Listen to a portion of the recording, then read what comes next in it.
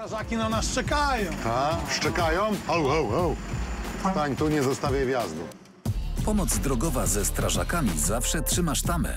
Chłopaki regularnie ze sobą współpracują przy usuwaniu skutków wypadków. My się staramy z każdą OSP żyć dobrze i jeżeli tylko tu możemy i ktoś nas prosi, to staramy się no, im pomóc, tak jak umiemy. No. Co tam Straży Sikawkowej się stało? Samochód nam się popsuł. O, Niemożliwe. dobry. A ty ty co, co, żeś już umundurowanie zmienił? Ty? Dobry. Firmę zmieniłeś? Dwóch, trzech. Dwóch firm. Co się stało? Co? No z rozrusznikiem coś nie tak się dzieje.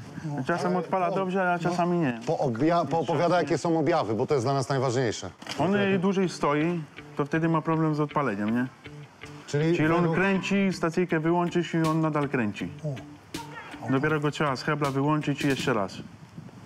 Zobaczmy kamień. Stacyjki raczej nie... No dobra, pokaż to, czy to jakie, jakie są efekty.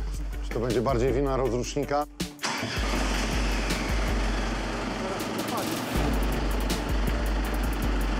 Teraz tak jakby dobrze złapał.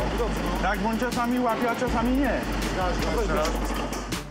Weź Kamil, jak on pali, weź go, zapal, wyjedź, zobaczymy co on jeszcze. Raz go. Klasyka. Jak ma się popsuć, to akurat działa, ale to nic. Tomek i Krzysiek znają się na takich wielkogabarytowych dinozaurach.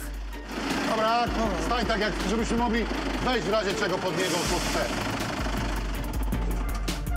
Mnie się Posłuchaj, wydaje, że tu jest coś Bendix automat. Trzeba bo on go- tak popiskuje, taki ma popiskiwanie jakby, wiesz, jakby jeszcze końcówką siedział na, na wieńcu i ten. Za bardzo go katować to nie ma co sprawdzać tutaj w tej z powrotem, to też nie ma sensu. My patrzymy z tej strony, a rozrusznik jest z tamtej strony. Ja wiem, ale ja się nie patrzę na rozrusznik, ja już patrzę się na, na całokształt tego pojazdu i patrzę po roczniku, czy to będą części, bo to może być, wiesz, jaki problem.